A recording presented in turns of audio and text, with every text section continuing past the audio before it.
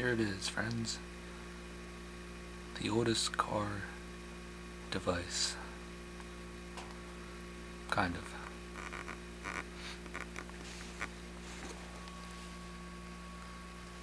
This is um, this is the basic setup. We have here the U-Tron coils.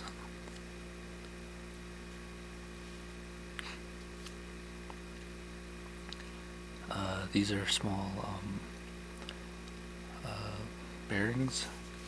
The whole thing is using uh, helicopter bearings from model helicopters. And uh, up here we have reed switches, which I took out of uh, two, well, part of an alarm system. Here we have number 28 copper wire. Uh, each um, electromagnet is connected to five um, 9 volt batteries in series. So that's, uh, what is that, 45 volts at about 3 amps. And the other coil, the same deal. Um, the U-Tron coils here uh, are hollow, but there's a sphere of uh, salt water in each one. The other coil, the U-Tron coil here, is uh, built a little differently. It's uh, it was the first coil I built, and it's using um, well, it's not using bearings for the uh, pivot points, and uh, it's just a little bit shoddier built. It's kind of I'll have to rebuild this one eventually.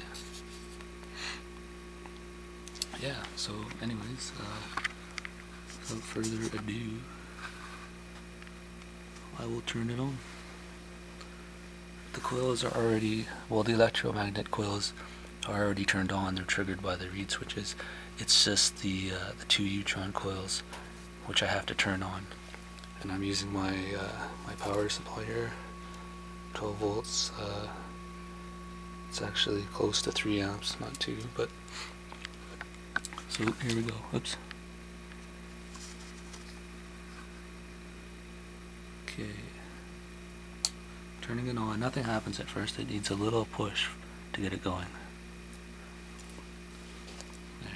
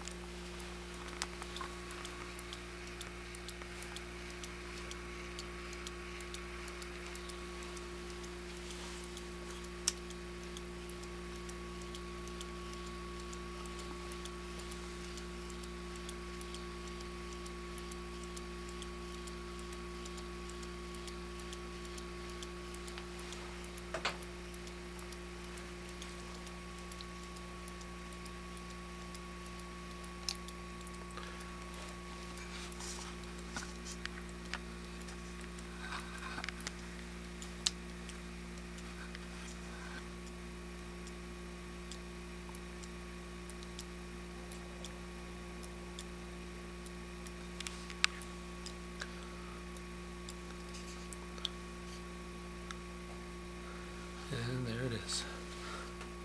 Unfortunately, I can't have it running too long because the U-Trons get quite uh, hot because I'm basically uh, shorting them out when I turn them on. Um, having them spin around kind of cools them a little bit. But eventually the plan is to uh, create um, two more electromagnets.